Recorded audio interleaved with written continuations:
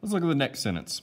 Since all the kittens are about the same size, about how many ounces does each of them weigh?